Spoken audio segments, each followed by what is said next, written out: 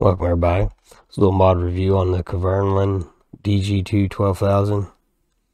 This is a uh, this is pretty nice seeder right here.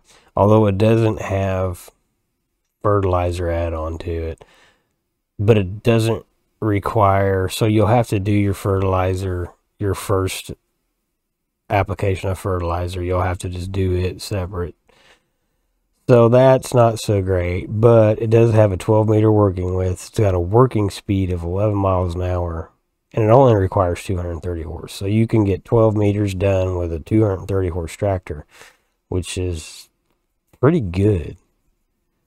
So it holds 6,000 liters of seed, has no tire options. So this is kind of kind of what you're stuck with, but it does have a three point mount. Uh, pretty nice. I've I've used it. I, I do like it. Um, it's not. I don't know if this direct seed. Well, no, I don't think this is. But like I said, it holds a lot of seed. It, it its only knock is that it doesn't have fertilizer. But if you put a fertilizer spreader on the front, I guess it's not a big deal. You can spread before you go too, or however you do that.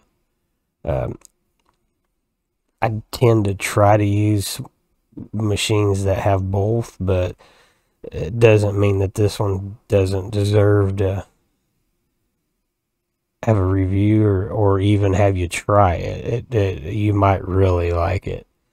So it's it's and it's not that expensive. It's 168,000 bucks and basically no real add-ons to it, but so you don't have to have a big tractor, you got a big seeder maybe you're trying, you know, if you're trying to conserve money, uh, this might might help you out because, like I said, it's pretty big, pretty big for what it is, um, and it does all the normal, plants all the normal seeds that you can plant with a seeder.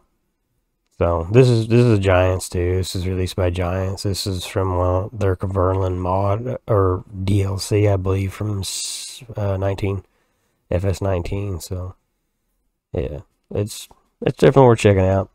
Uh, so if you're in the market for a new seeder, give her a look. And thanks for watching.